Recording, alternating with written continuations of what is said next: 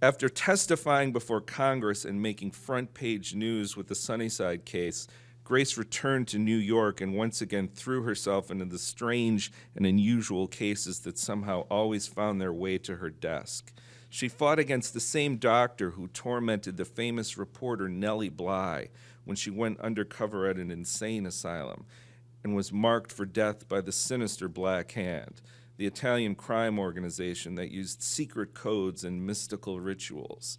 Eventually, one of Grace's rich society friends, Mrs. Felix Adler, called to tell her that a girl had gone missing in New York and begged her to meet with the father of the girl, one Mr. Henry Cruger. By the time Grace agreed to take the case, Ruth Cruger's photo had appeared in newspapers all over the country. Her image even flickered in front of movie theater audiences.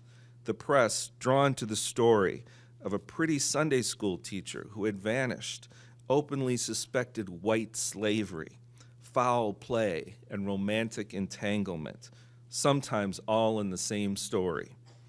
Juicy clues were flooding the detective precincts but none of them panned out. But Grace took a different approach to the case. She locked herself in her office for a week to study every scrap of paper related to it. Grace had been trained as a lawyer, but her inability to trust the police or even the law itself had, over the last few years, turned her into more of a detective. Now, at age 48, her formula was to search for clues herself verify them, and use them in the courtroom to make her arguments. She didn't trust the police, so she effectively just found her own evidence. In this case, Grace kept coming back to Alfredo Cocchi, the man who had sharpened Ruth's skates. Since being questioned by detectives, Cocchi had also disappeared.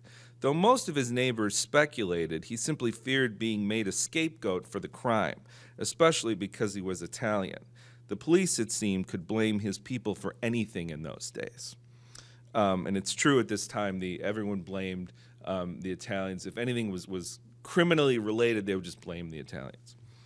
Um, but though Cocchi's place had already been searched, his motorcycle shop was the last place Ruth had been seen. Grace wanted to see it herself. This is how Grace ended up standing in the middle of Manhattan Avenue in Harlem and staring up at the Metropolitan Motorcycle Shop in June of 1917. Grace craned her neck and took in the tall glass windows that ran almost 10 feet high across the front of the store. The white lettering across the glass read Motorcycles Storing on the left and Auto Supplies on the right. She saw tin signs for Mobil oil that hung still in the air. A single globe lamp hung off a pole in front of the entrance, and a huge billboard for graham crackers, as big as long as the shop itself, rose off the roof and into the blue sky. The inside of Cocchi's shop was dim behind the smoked glass.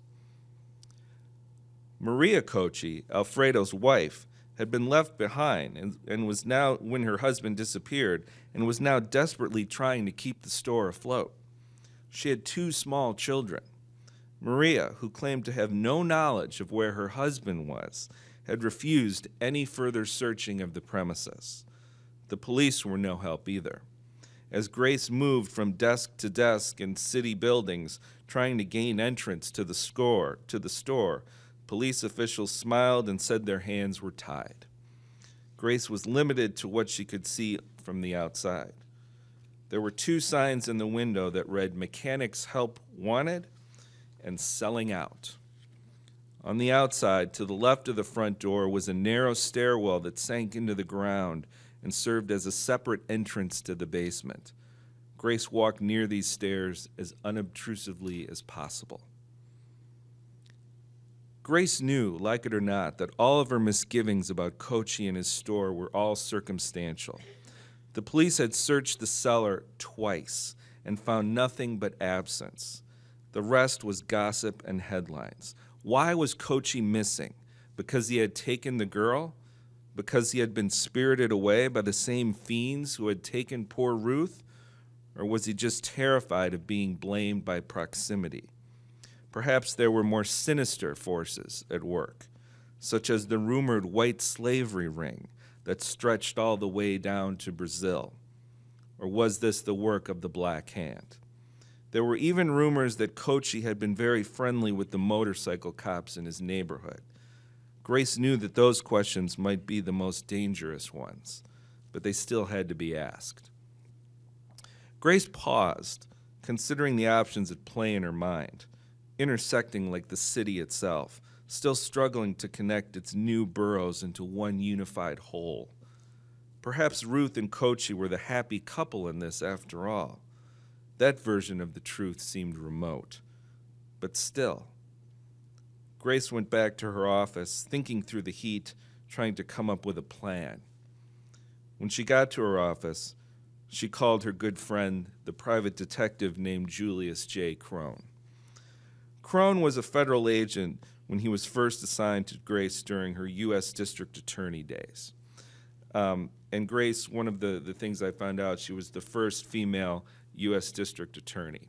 Um, this is, I think, a major historical point, um, and you have to look really, really, really, really hard to find it anywhere. um, it's a major accomplishment.